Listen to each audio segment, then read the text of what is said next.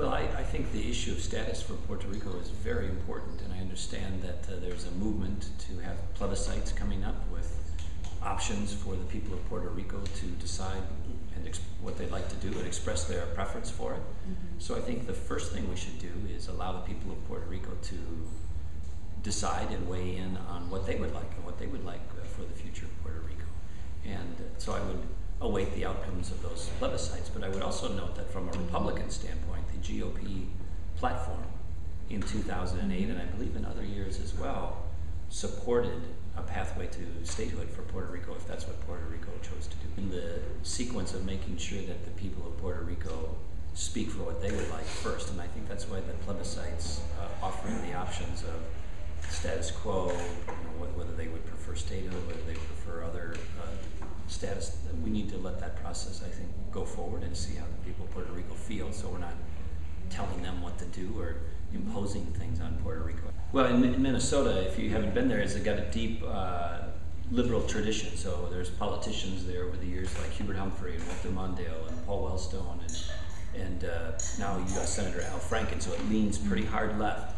And in my state, I was able to win it as a Republican, which is somewhat unusual, particularly for a conservative. Uh, and we changed the state on spending and taxes, health care, public employee pensions, education, lawsuit reform, and we've got, I think, one of the best, I have one of the best records in the country for a governor.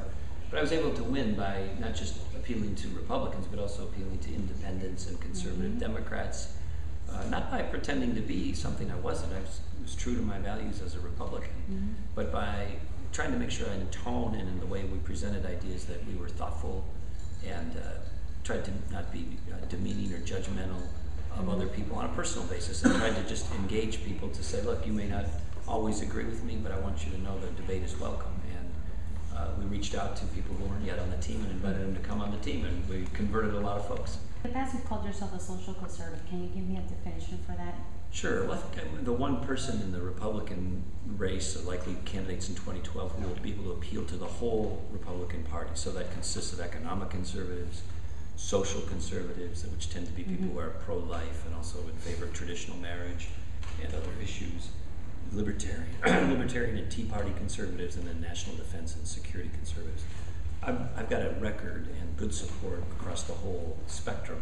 Mm-hmm. Many of the other candidates, I think, are going to be able to appeal only to one or two of those categories, but I'm going to be able to appeal to all four, unite the party, excite the party, and then also be able to appeal to the independents and the Democrats that we're going to be able to, that we need to win the election in places like Wisconsin and Ohio and Florida and Colorado and many other places. Okay, two more questions, I'll be Yeah. done. Um, um, what do you think then about the Republican Party and the possibility um, of this candidates like Sarah Palin, Michele Bachmann, who are who have very extreme um, um, postures about religious and a lot of other issues? Do you think that they can get a lot of common votes? Well, we'll see. The- Uh, you know, I don't even know who's all going to run for sure, but Mhm. uh, you know, there's going to be the full kind of array of folks Mhm. running.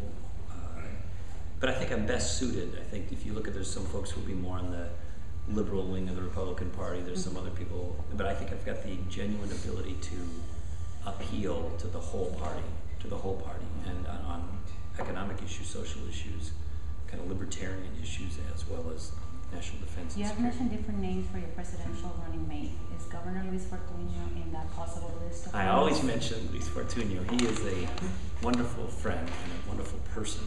And uh, in addition to his great vision for Puerto Rico, I know him as somebody of great character and integrity. He's got a good heart. And when we talk about the future of the Republican Party and the future of America, and we give examples of the kinds of leaders that are going to emerge to help lead the country, I always put his name on the list because he deserves it. He's a tremendous leader and a tremendous person. So it's a good possibility. Absolutely.